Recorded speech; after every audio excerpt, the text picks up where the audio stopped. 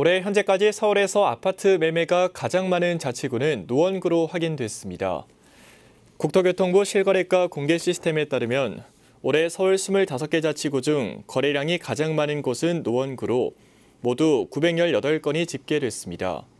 송파구가 875건으로 2위를 기록했으며 강남구와 성북구, 강동구 등이 뒤를 이었습니다. 신생아 특례대출 대상인 9억 원 이하 주택 매매 또한 노원구가 858건으로 거래량 1위를 기록했습니다.